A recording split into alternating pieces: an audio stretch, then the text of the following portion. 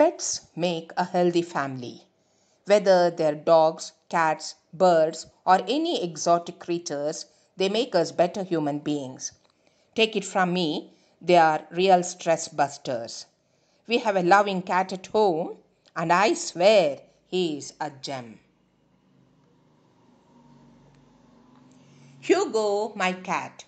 Sleepy, sleepy little cat, always curled up on the mat when I try to wake him up, into a fluffy ball he curls up. Affectionately I scratch his nose and ears. Lovingly he scratches me with his claws. When I am busy with some work, the little lazy is ever ready to irk. Our sleepy King Kong will dart like a chicken at the sound of clink clang in the kitchen, to hide and disappear under the bed, trembling wildly with dread. Without a doubt, he is the cutest and always and forever the best. As a teeny weeny kitten, he had all of us happily smitten by his unlimited dose of cuteness and overload of mischievousness.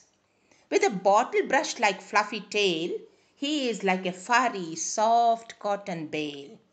And those eyes, big, brown, and round, are filled with expressions profound. Whoever said that cats are selfish or without doubt the most foolish. Hugo has a genial way of showing love, going round and round, arching like a bow. I am Sheela Chalapathi Ramananda. You can find this poem and other poems and stories in my blog on thunderandlions.com. My writings are also found on voicesnet.com. Please visit. Thank you.